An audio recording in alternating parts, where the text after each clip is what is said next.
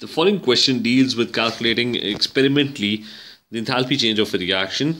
And the question reads that an experiment to calculate the enthalpy change of combustion of a fuel. So you're basically uh, trying to do an experiment to calculate the enthalpy change of combustion of a fuel.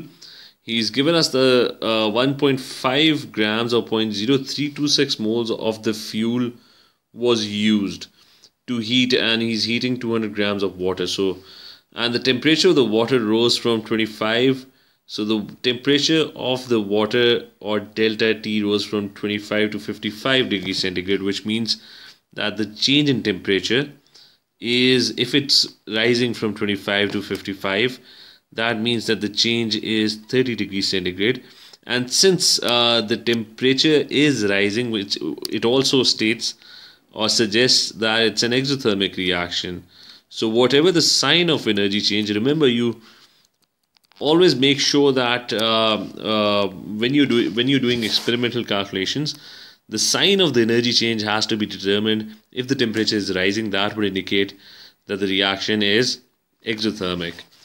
And the specific heat capacity of water is also given. It's 4.18 uh, specific heat capacity of water is given. That's 4.18 joules per gram per kelvin. So that is also known. So i'm just drawing a small sketch here's my beaker. It contains uh, it contains 200 grams of water. And I know the specific heat capacity. I know that the temperature of the water delta T is changing. It changes by it rises by 30 degrees centigrade. So so there's a change in temperature of water. And why is it rising? Because a fuel is being burned which is producing all the heat energy. Uh, that fuel is burned and the amount of fuel that's being burned is 1.5 grams or in terms of moles that's 0.0326 moles. So we are burning a fuel and the energy is being transferred to uh, water in a container. It's 200 grams of water and the temperature change of the water the temperature rises by 30 degrees centigrade. Now the question states that there is significant heat loss in this experiment which means that the experiment is not very very accurate Therefore, the experimental value for the enthalpy change of combustion of the fuel will be different from the theoretical value, which is very obvious because uh, the accuracy is not there. A lot of heat loss is taking place. Now, using the information above, so based on the above information that's given, so using the information above, we um, what is the experimental value for the enthalpy change of combustion of the fuel? Now, the amount of energy that's being produced or being absorbed by the water can be calculated using the formula which is that heat energy is equal to uh, the mass into specific heat capacity into the temperature change delta T. So we can use the formula MC delta T, the specific heat capacity formula. The mass of water is already given. So since we are assuming that the energy that's being produced is going to is being absorbed by the water so the mass of water is given, that's 200 grams. So I'm going to try and figure out how much energy is being absorbed by this water over here.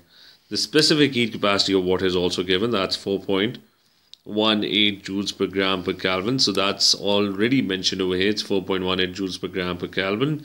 And the temperature change, delta T, is also known, that's 30.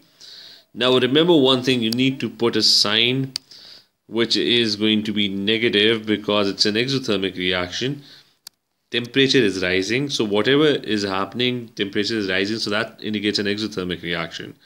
So I'm going to try and calculate uh, the amount of energy that's being absorbed by water on my calculator. And this energy comes out to be equal to uh, 25080 joules so that is the amount of energy that the water is absorbing and obviously where is that energy coming from? The energy that's being absorbed by the water is coming from the fuel which basically means that you're burning 0.0326 moles of fuel and the amount of energy that's being produced or being absorbed by the water is 25080 joules. Now the question wants us uh, to um, figure out what is the experimental value for the enthalpy change of combustion. So we need to figure out the enthalpy change of combustion And remember, enthalpy change of combustion is for one mole of fuel. Now, we know that 0.0326 moles of the fuel produces this much energy. So what would one mole of the fuel, how much energy would be produced by one mole of the fuel? So it's simple ratios.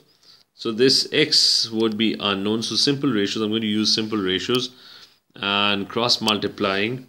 So it's going to be, it's going to be, uh, this x would become equal to, it would become equal to 25080 divided by 0 0.0326 and the answer that I'm getting is uh, 769325 joules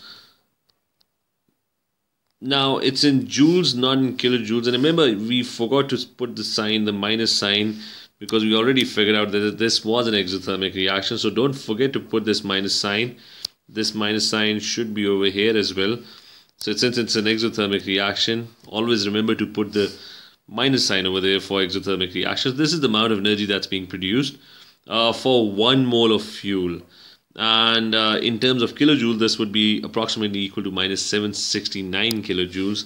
Hence, option B would be your correct option for this for this question.